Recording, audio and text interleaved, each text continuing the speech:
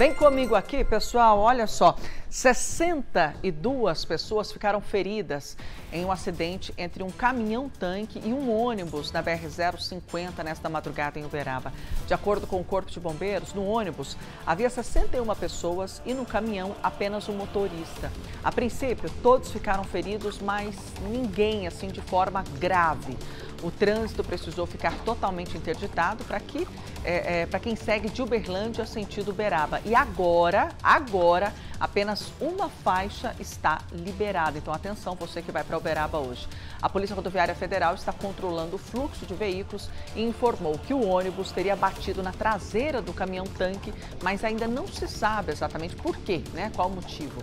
O ônibus saiu de Trindade, em Goiás, e tinha como destino a cidade de São Paulo. Nós entramos em contato com a concessionária que administra a rodovia e estamos aguardando o retorno. Então, atenção, repito, você que está indo para Uberaba, trânsito está aí, apenas uma faixa liberada, viu? Tenham todos muita cautela.